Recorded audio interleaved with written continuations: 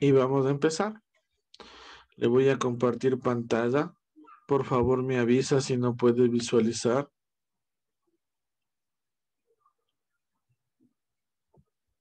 Listo. No, ¿sí puede ver? ¿Sí? ¿No? Sí, le Ya, chéverazo. Entonces mirará. Compuestos binarios. Vamos a resumir todo lo que hemos venido haciendo en esta unidad, que son los hidruros. Entonces, como nosotros sabemos, hay hidruros metálicos, hidruros no metálicos. ¿Qué de diferencia tienen a los óxidos?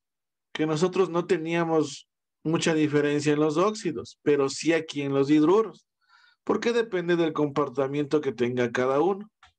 Entonces mirará lo que dice el resumen que usted tiene en sus manos. El hidrógeno al poseer únicamente un electrón siempre actúa con valencia más o menos uno. Entonces mirará, esta parte súper importante. Con más uno, cuando se combina con elementos más electronegativos que él. Y menos uno cuando lo hace con elementos menos electronegativos. En el caso de elementos no metálicos, para saber cuál debe ser la valencia del hidrógeno y del elemento que se combina, tenemos que dar una lista de referencia. Esta lista nos indica en qué orden escribir los elementos y el signo de la valencia que utilizan. Si el elemento está situado a la izquierda del hidrógeno, en la fórmula química también lo debemos escribir a la izquierda y utilizar su valencia positiva. Y si está situado a la derecha, lo escribimos a la derecha del hidrógeno con su valencia negativa.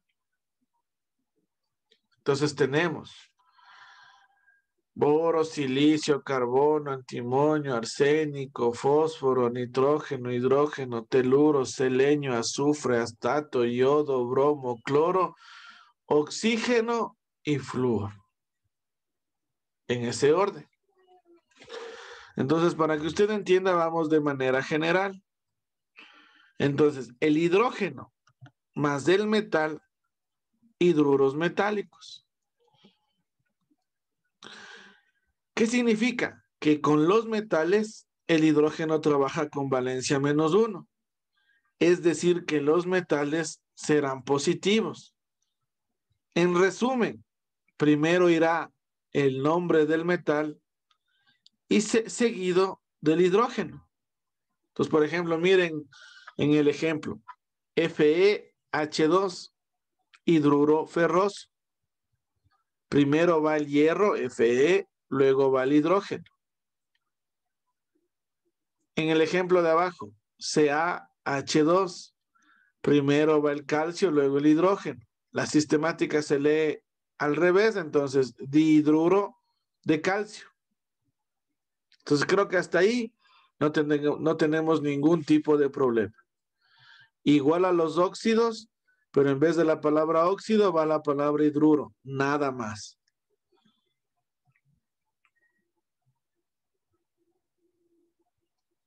Mire por favor esta lista, está completa, son ejemplos.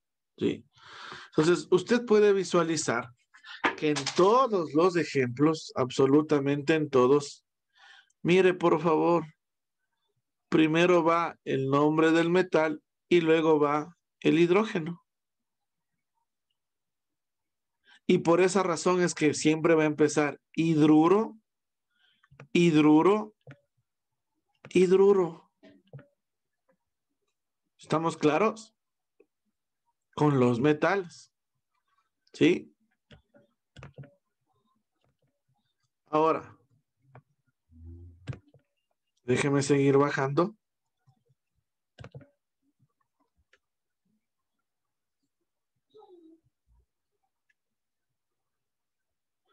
Y ahora vamos con los no metálicos. Entonces, en esta parte es donde yo quiero que usted me entienda. Dice, en estos compuestos el hidrógeno actúa con valencia más uno y los no metales con valencia negativa. Entonces, lo primero que me entienda es que aquí cambia. El hidrógeno ya no es menos uno, ahora el hidrógeno es más uno. ¿Sí? ¿Cuál es el otro cambio?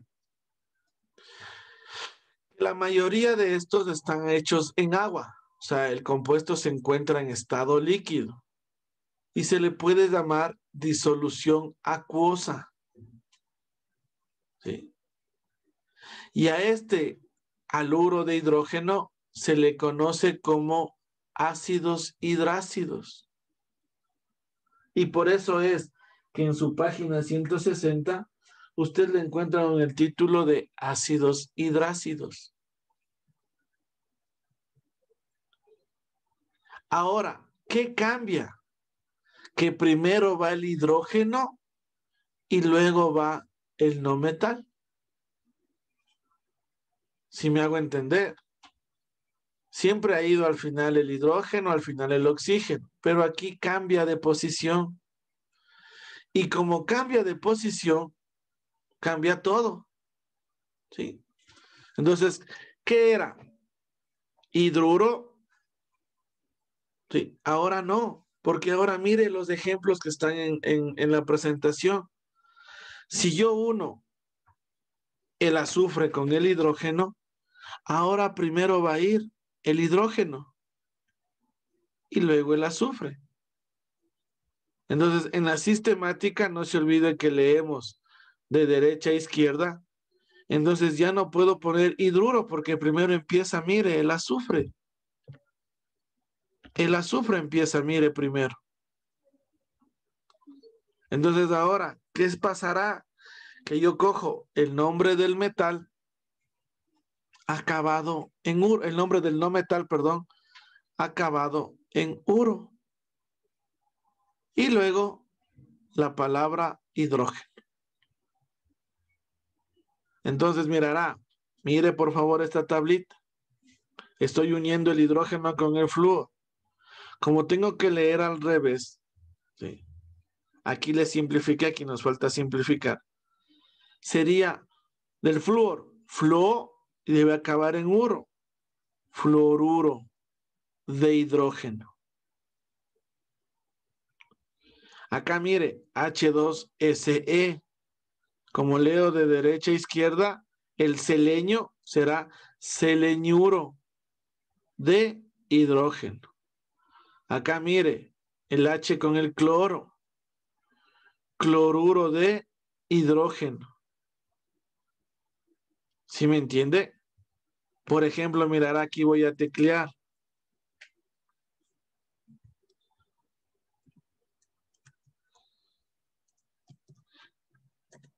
Si fuera CLH, yo tendría que leer hidruro de cloro. ¿Estamos de acuerdo? Como normalmente lo hacíamos. Pero como está al revés, mire, entonces ahora es cloruro de hidrógeno. Y en el yodo, mide yoduro de hidrógeno. Y como todos estos están en disolución acuosa, ahora son ácidos. ¿Sí? Entonces mirará, nomenclatura sistemática. Se nombran como el nombre del no metal acabado en la palabra uro, seguido por la expresión de hidrógeno. Mire, aquí le dice la sistemática. Y la nomenclatura tradicional en disolución acuosa se nombran utilizando la palabra ácido seguida por el nombre del no metal acabado en hídrico.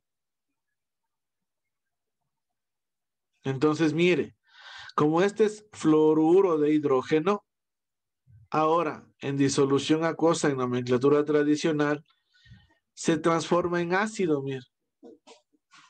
¿Ácido de quién? Del flúor. Entonces pongo flúor acabado la palabra hídrico. Entonces, ácido flúor hídrico o fluorhídrico, como le saben decir.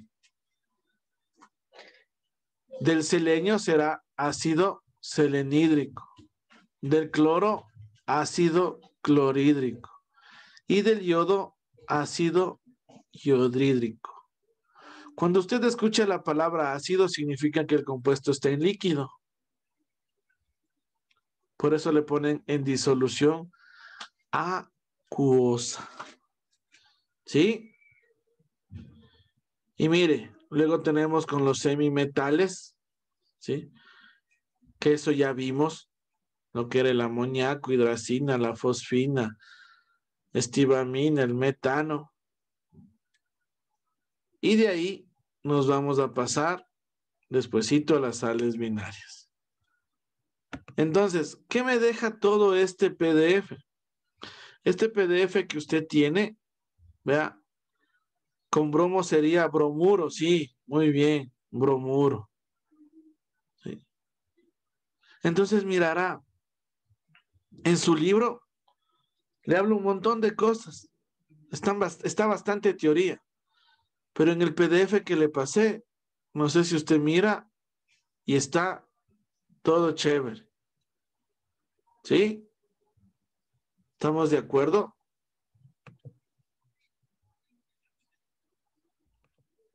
Entonces, por favor, use, use su, use su, su libro, use su libro, ¿sí? Use su libro, use su PDF para poder hacer. ¿Hecho? Entonces, pasémonos a la página 163. Todos, todos a la página 163. Creo que anda fallando un poco mi internet. Confirme. Dice. Ya mande. Dicen, podría repetir lo que dijo porque se le entrecortó todito. Ya, no hay problema. Que por favor mire el resumen que usted tiene en el PDF. Y vamos a hacer el taller de la página 163.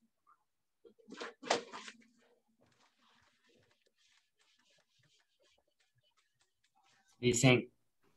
Mande. Podría repetirse, le volví a entrecortar. Ya, pues este internet, oiga, yo no entiendo. Algo le anda pasando justo estas horas. Pero no se preocupe, que vamos a hacer el taller de la página 163. Sí, va a ser conmigo el taller.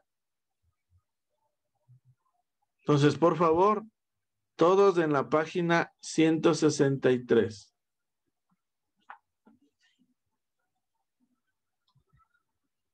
Es más, estos ejemplos están en el PDF, no sé si se dio cuenta alguien. Entonces empecemos con el primero, HI.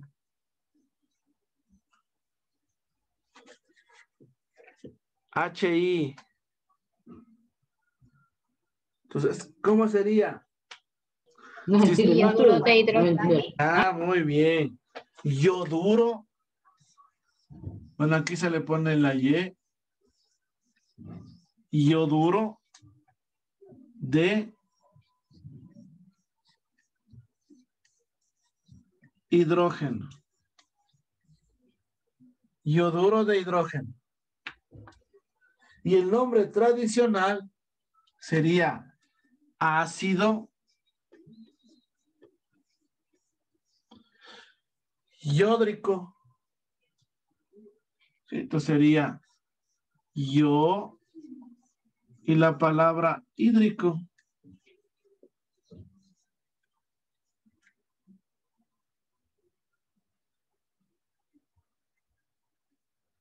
¿Sí me entiende? Entonces no se olvidará. Por ejemplo, este es yodo, mire, este es yodo. Y luego va la palabra hídrico.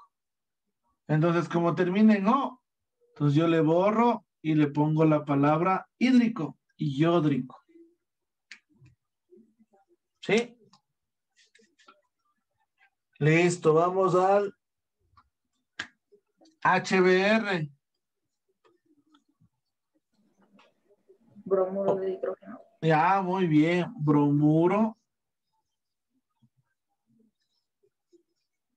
de hidrógeno.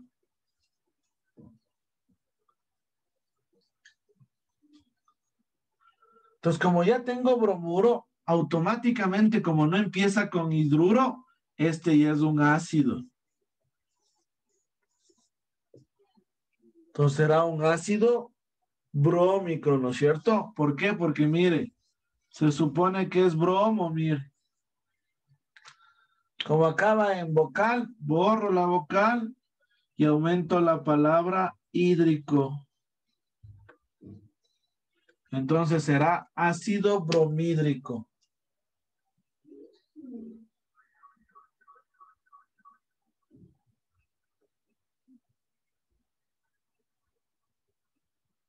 Listo. El tercero. H2SE. ¿Cómo se llamará? Seleniuro de hidrógeno. Excelente. Seleniuro de hidrógeno. Como es seleniuro, automáticamente ácido. ¿Sí? Y será ácido. Se supone que es así, ¿no? Seleño. ¿Sí? Yo le puedo borrar la O, pero sigue teniendo otra vocal. Entonces borro las dos vocales y aumento la palabra hídrico. ¿Sí? Ácido selenhídrico. Y usted haga la última.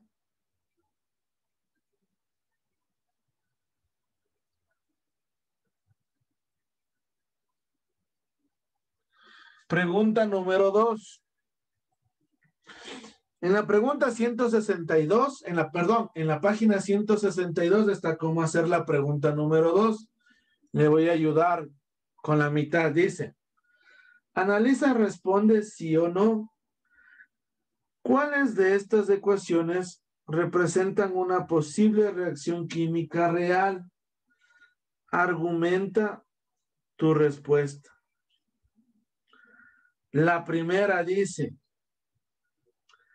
H2 más 2Cl2 es igual a 2H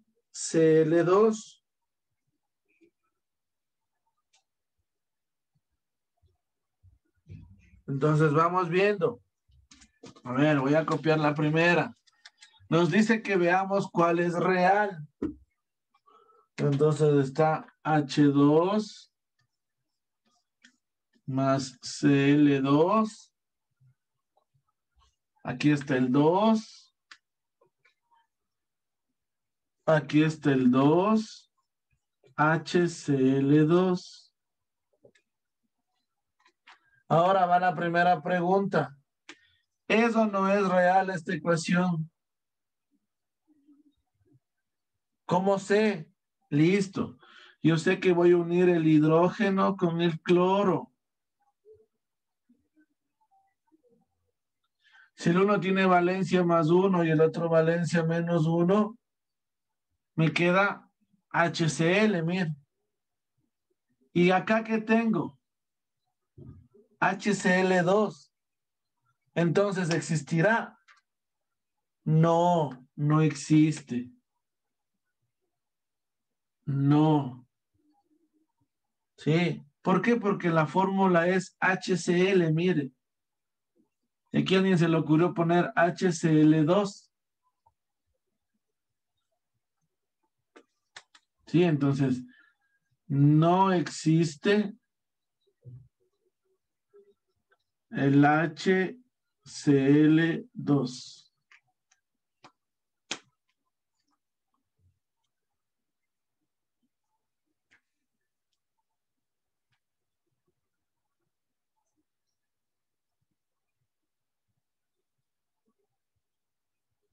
Vamos al otro. Dice H2 más BR2 es igual a 2 HBr.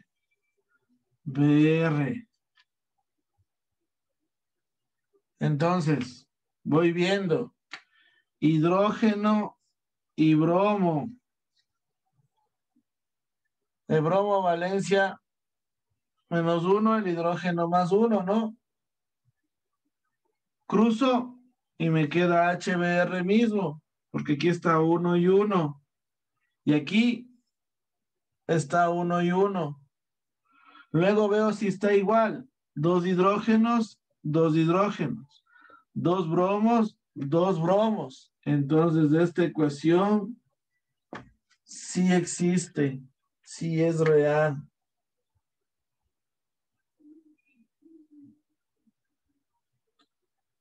Entonces usted haga las otras dos. Y cuando tenga dudas de qué está la ecuación, mire, este es el producto final, vea si existe. Coge el uno, coge el otro, las valencias, crúceles y vea si existe. Nada del otro mundo, muchachos.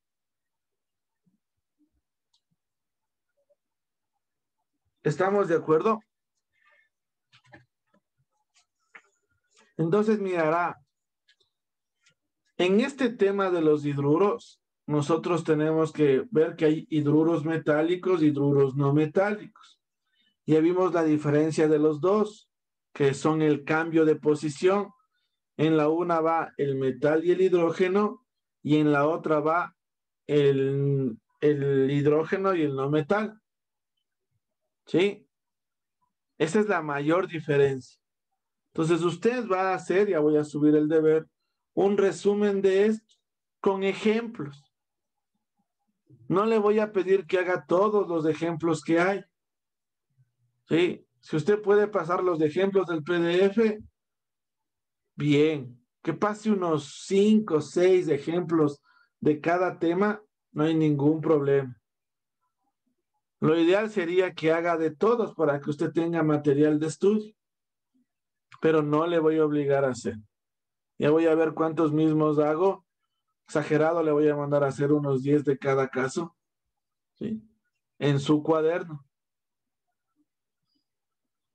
Y, y adicional, complete de hacer la página 163.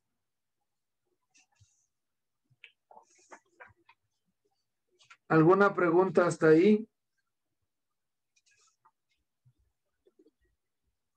Y aquí vamos a ver unas reacciones químicas y alguna vez, no sé si escuchó la palabra pH.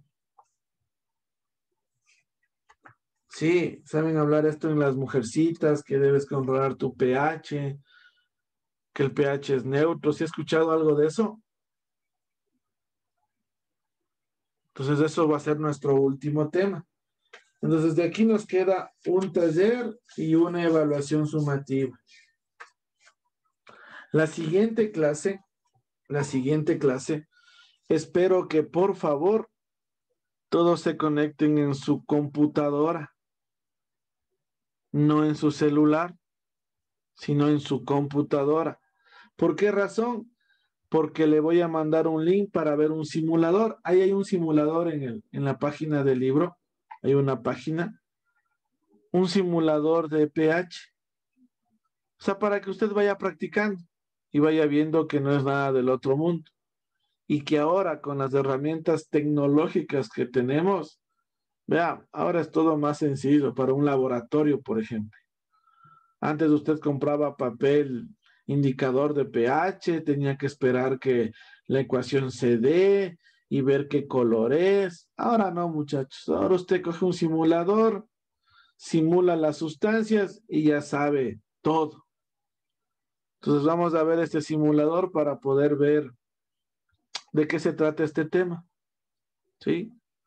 Pero algo importante que usted debe saber, hombres y mujercitas, cuando usted está en equilibrio, todo marcha bien, ¿no es cierto? O sea, su, su cuerpo está bien, su mente está bien, no tiene problemas. ¿Por qué? Porque está en equilibrio. Si el cuerpo se desequilibra, empiezan los problemas. Entonces, este pH es así con nosotros, así con las demás sustancias. Si está equilibrado, no pasa nada. Por eso no sé si alguien de ustedes alguna vez se fue al doctor y el doctor le dijo que su pH está muy alto o su pH está muy bajo. Está muy reseca la piel, necesita pH. No sé si alguna vez les pasó eso. Entonces esto más habla del equilibrio, de que todo debe estar como una balanza en equilibrio para poder ver las situaciones. ¿Sí? ¿Alguna pregunta?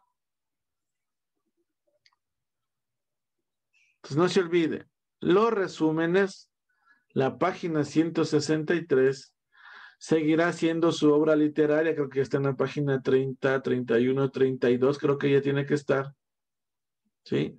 Subrayando, empezó en la 30, ¿no es cierto? Todas las obras literarias, perdón, literarias empiezan en la página 30. Entonces tiene que seguir haciendo, ¿sí? Es más, tengo que subirle el link del anterior, no pasa nada, porque como este pasar es larguísimo, porque el otro le acortaron, no pasa nada. Ya, ¿qué dice? Oh, no, no, o sea, yo me refiero a que es preferible que usted se conecte con una computadora, porque obvio, si usted maneja bien su celular y puede cambiar de página y hacer el simulador en su celular, chéverazo pero yo le veo que es más eh, complicado de manejar, porque esta aplicación es hecha para escritorio, pero si no puede conectarse a una computadora normal, no pasa nada. Lo hace con su teléfono. Eso nomás, así que no irá a estar diciendo es que me obligaron, no, no, no. ojalá puedan todos conectarse a su, a su computador, ¿sí? Si no, no pasa nada. Seguiremos aquí haciendo el simulador. ¿Hecho, muchachos? Entonces, déjeme tomarle lista. Y eso sería todo por el día de hoy. Entonces, espérenme ahí un ratito, por favor.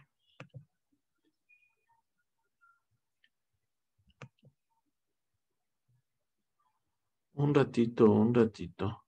A ver, vamos. Albuja. Presente. Armas. Presente. Astudido. Presente. Campo Verde. Presente. Carrera. Carrillo. Presente. Castro. Presente. Chipuxi. Presente.